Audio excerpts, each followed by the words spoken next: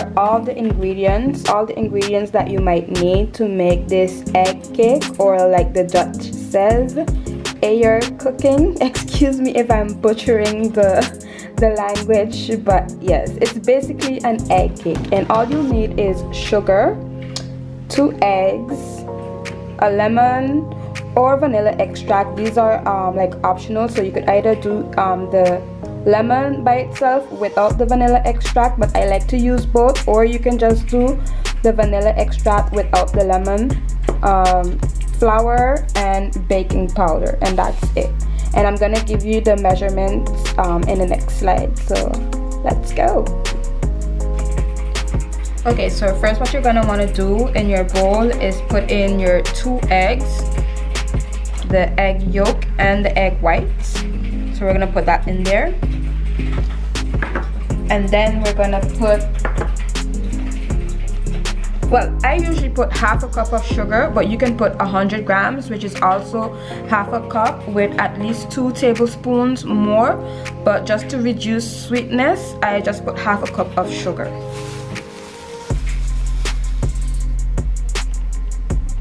Okay?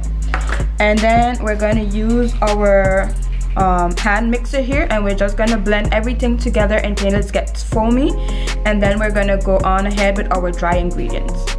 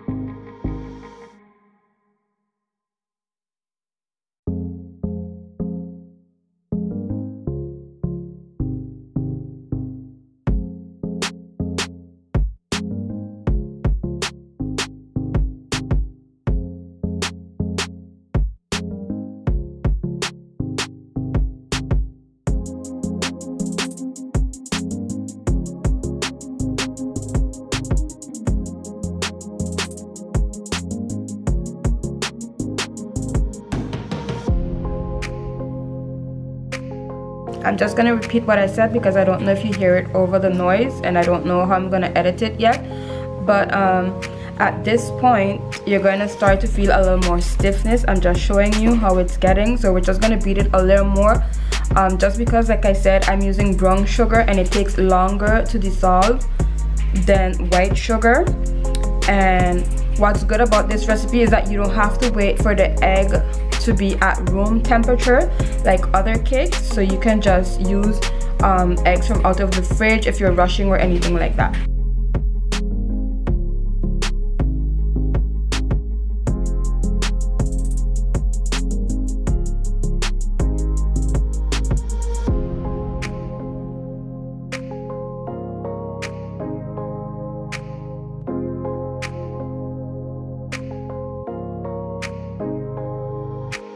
okay I think I'm satisfied with this. This is what you want.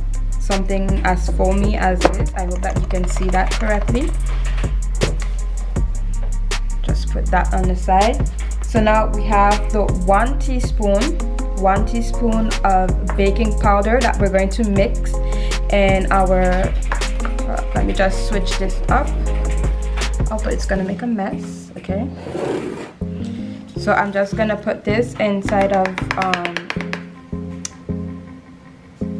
inside of my flour. So I have 100 grams of flour in here which is half a cup of flour with two tablespoons. So half a cup plus two tablespoons or just 100 grams and just one teaspoon of baking powder. And I'm just gonna give this a quick mix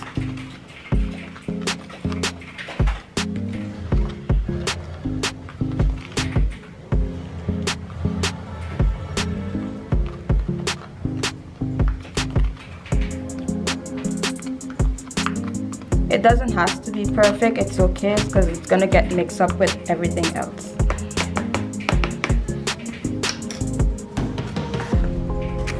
Okay so at this point you're gonna want to mix your dry ingredients with your wet ingredients. And we're just gonna put it in two parts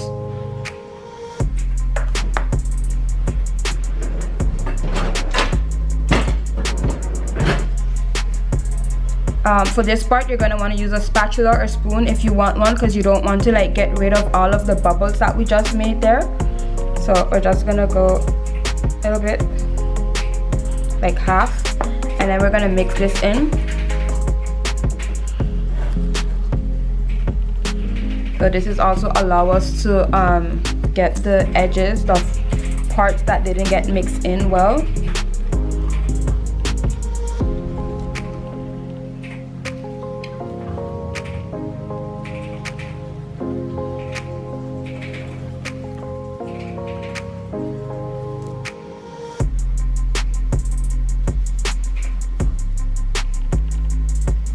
I don't know if you can see when I'm folding over you can still see a little bit of the brown sugar that wasn't really like dissolved as yet but that's okay. But again if you use white sugar you're not gonna get that that feeling. And at this point you can also go ahead and add your one tablespoon of lemon juice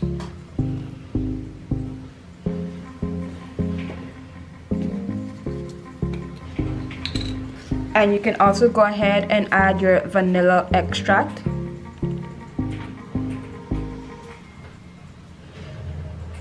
I just use one tablespoon, one teaspoon, sorry, one teaspoon of vanilla extract. And again, like I said at the beginning, it is optional. You can either just use vanilla or just use lemon. You don't have to use both. But I think the lemon juice add something extra to the baking powder that we put in there. So probably don't skip out that one. But if you do skip it out it still is gonna come out good. But as you can see add I added as I added the lemon zest you get like a little more foam to that. I don't know if you ever did the science but when lemon the acidity in the lemon along with the baking powder has like a foamy-ish reaction. So just like um, vinegar. Just like vinegar and baking powder. So we're just gonna add the rest of our dry ingredients in here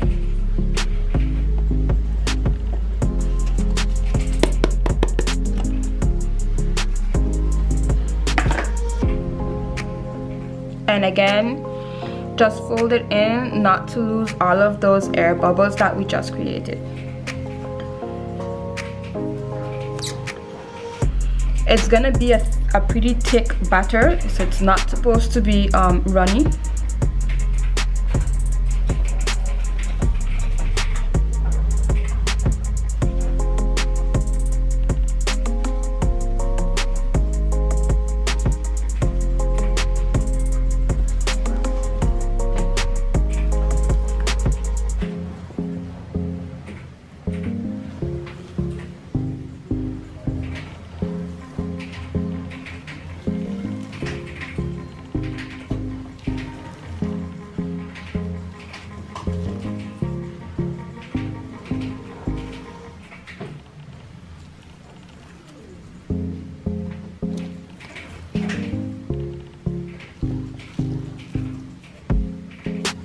okay so once if once everything is um, mixed in don't over mix or anything like that. Just make sure all of your dry ingredients is well combined. You could um, look through it just to see if you see any like flour parts that isn't mixed in well as yet. See all like when I pull it here all of those bubbles inside we want to keep that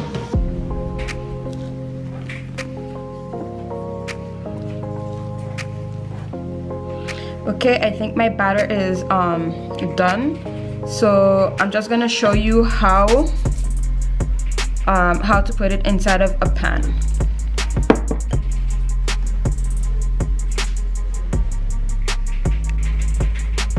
Okay so at this point um, probably before I forgot to say it you could preheat your oven to 180 degrees Celsius um, I don't know what it is in Fahrenheit, so you'll probably have to Google that.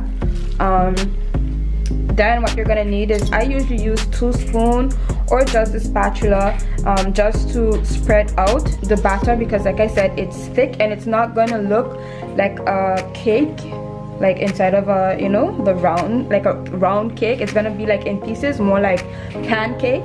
It's gonna look like pancake but it does not have the texture or taste like pancake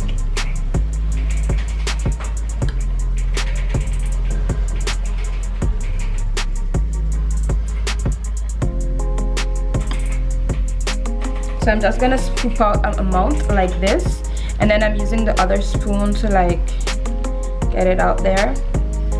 And then you could just go ahead and like make a circle with it.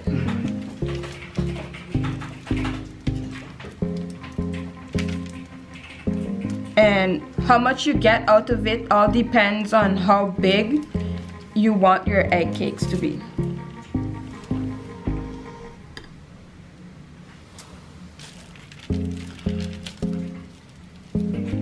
Make sure you keep a good spacing between them because they are going to spread.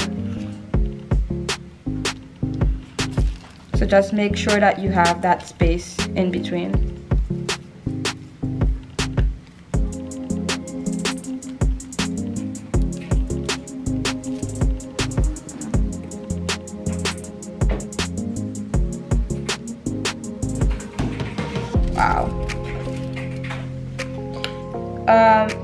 Also what I like to use here is maybe um, what do you call it now? The ice cream scoop. A ice cream scoop could come in handy as well here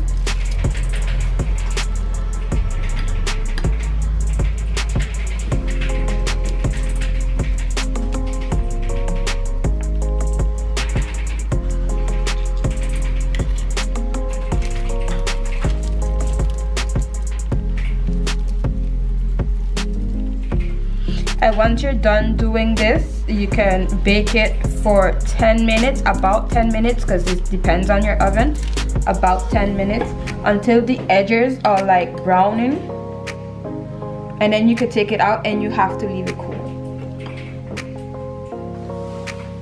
You have to leave it cool because when you take it out you're going to realize that it's like super soft but it's going to air dry if I can say that. I call it air dry but yeah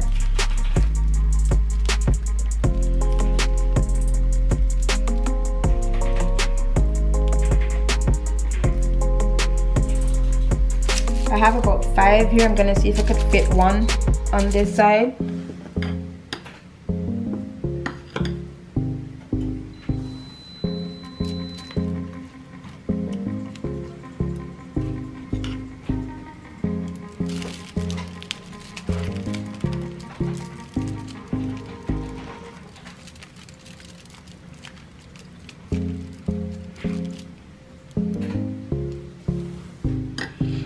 Okay so i'm just gonna pop these in the oven and then probably gonna do another trick because i still have some batter leave over um, so again it all depends on how big you do them but you're gonna see how they spread. And i just hope that i left enough space and they don't like stick on together. So we're hoping for the best here so these just came out of the oven. As you can see make sure you have the space there because my one got like kind of stuck there but that's okay. That's okay. And they're supposed to be like this color. My oven is kind of weird. As you can see this side has like one clearer side here and then one darker side. But it is cooked and right now it's like super soft so I do have to leave it like kind of air dry but this is what they look like so these are what they look like and this is what you would get if you're buying them in a shop also in a bag. You get about I think about five or six of them. Um, I didn't put the burnt one there but yeah this is what they look like. And I'm just gonna try and tear off a piece here so you guys could see. This is what it looks like and how do you the Dutch usually eat it is like they spread like butter to eat it with but honestly that's I never tried it like that and I don't think I would like it like that. But it is like a dry cake so it doesn't have like you know any like fat issues. As you can see I didn't put like any oil or butter when I did it so it tastes very very good. You could eat this for like a snack with a fruit you could eat it with coffee. Um, yeah and probably instead of spreading butter you can spread like jam. I think they do that also. But this is the simple cake. And again as you can see it's like kind of fluffy and it's not as flat as like a crepe or crepe. Um, so it's more like a pancake-ish and this is what it looks like